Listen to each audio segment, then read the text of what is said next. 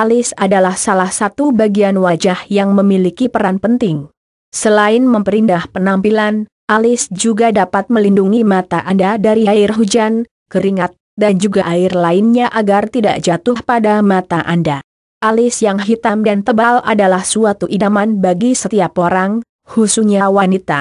Dengan alis yang hitam, orang akan terlihat lebih cantik dari biasanya.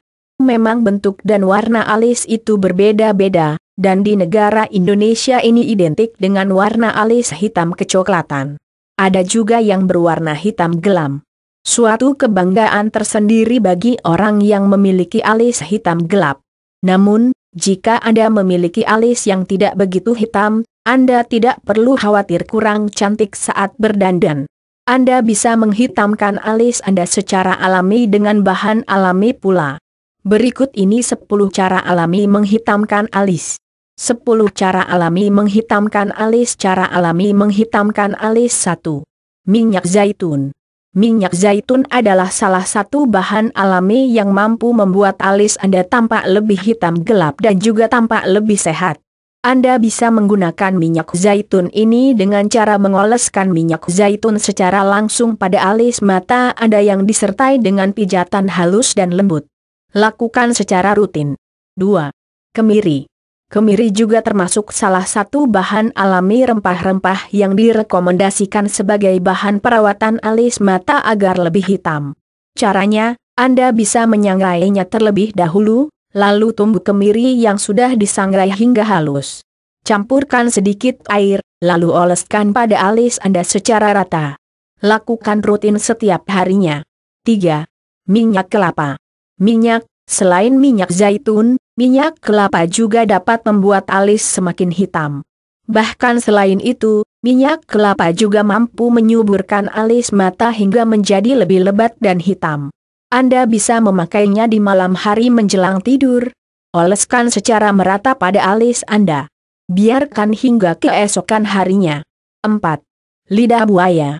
Lidah buaya memiliki banyak manfaat, Selain untuk menyuburkan dan menghitamkan rambut kepala, lidah buaya juga mampu menghiamkan alis mata.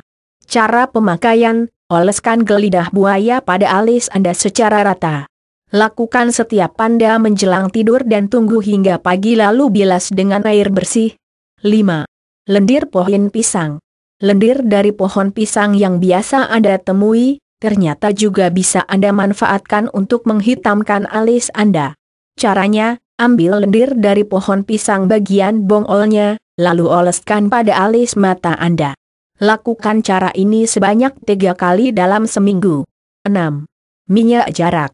Minyak jarak juga mampu membuat alis Anda tampak lebih hitam.